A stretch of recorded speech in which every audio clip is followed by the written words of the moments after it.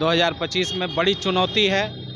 उस चुनौती को बेहतर तरीके से निपटने के लिए एक बहुत ही सुयोग्य व्यक्ति को प्रदेश अध्यक्ष की जिम्मेवारी दी गई है जो कि संगठन में लंबे समय से काम किया है उन्होंने। तो हमारे यहाँ कोई भी पद जो होता है वो पद होता ही नहीं। हमारे यहाँ दायित्व तो होता है जिम्मेवारी होती है और वो जिम्मेवारी किसी न किसी कार्यकर्ता को दी जाती है। कार्यकर्ताओं के हृदय में बसने वाले वो व्यक्ति हैं। सभी कार्यकर्ताओं को मानने वाले, सभी कार्यकर्ताओं को साथ लेकर चलने वाले, सबके प्रति उनके दिल में स्नेह का भाव रहता है। और कल सुबह वो 10 बजे पटना एयरपोर्ट पे आएँगे और फिर पटना एयरपोर्ट से उनका स्वागत कार्यक्रम शुरू होगा, जो पूरे पटना एयरपोर्ट से चलते हुए प्रदेश कार्यालय में कल ग्यारह, साढ़े ग्यारह बजे वो पहुँचेंगे। फ़िलहाल एनडीए के मुख्यमंत्री नीतीश कुमार हैं और नीतीश कुमार के नेतृत्व में ही हम लोग 2025 का चुनाव भी लड़ने वाले हैं। आगामी विधानसभा चुनाव 2025 को लेकर भारतीय जनता पार्टी एक नए चेहरे को अपने मैदान में उतार है और दिलीप जायसवाल, तस्वीरों में आप देख सकते हैं कि डॉक्टर दिलीप जायसवाल बिहार भाजपा के प्रदेश अध्यक्ष बनाए गए हालाँकि वो इस वक्त दिल्ली में है और दिल्ली से पटना कल पहुँचेंगे। क्या है खास तैयारी? आप तस्वीरों के ज़रिए भी देख सकते हैं। हमारे साथ आनंद पाठक जी भी हैं।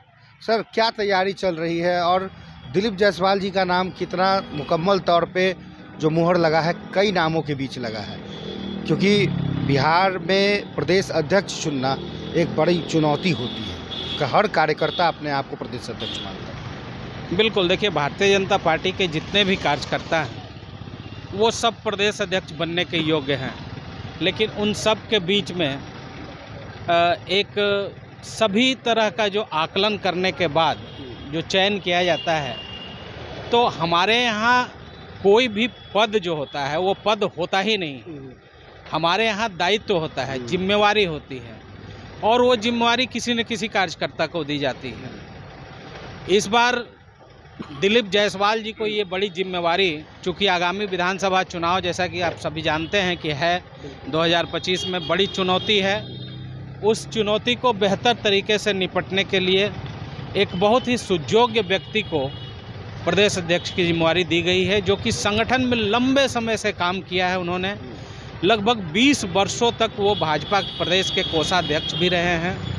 कई राज्यों के प्रभारी के तौर पे उन्होंने काम किया है। उसके अलावा मंत्री के रूप में भी वो काम कर रहे हैं। लगातार तीन बार कि सीमांचल क्षेत्र में किशनगंज पूर्णिया कटिहार अरीरा जैसे क्षेत्र में भारी बहुमत से निकाय वाले जो एमएलसी चुनाव होते हैं उसमें लगातार तीसरी बार उन्होंने जीत हासिल की है।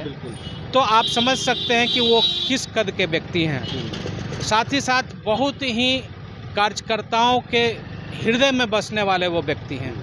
सभी कार्यकर्ताओं को मानने वाले सभी कार्यकर्ताओं को साथ लेकर चलने वाले सबके प्रति उनके दिल में स्नेह का भाव रहता है।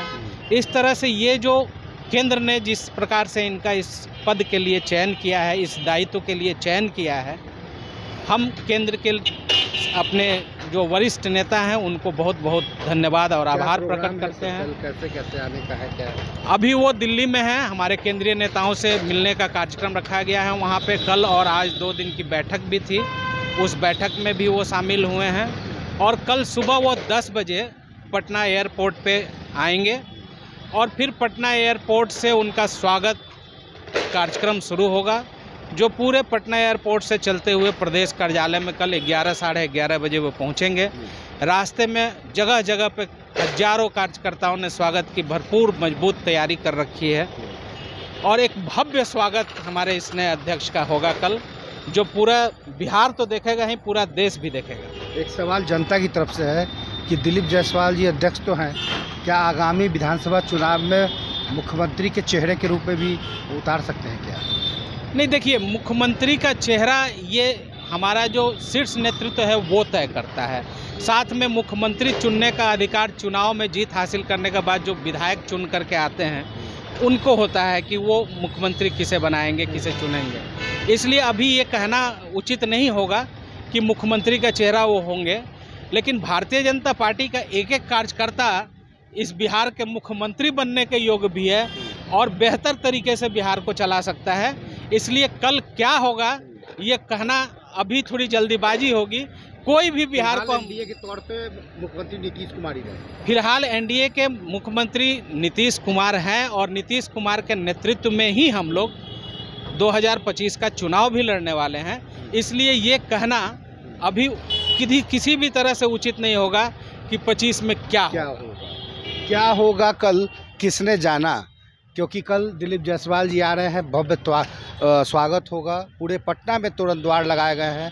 अलग अलग जगहों पर बैरिकेटिंग की गई है। खास करके जो अलग अलग चौराहे हैं वहाँ पर हर विंग यानी कि महिला मोर्चा से लेकर हर जगह स्वागत की तैयारी होगी। देखना होगा कि कल दिलीप जायसवाल किस तरीके से अपना शक्ति प्रदर्शन भी करते हैं। पटना से कुमार गौतम की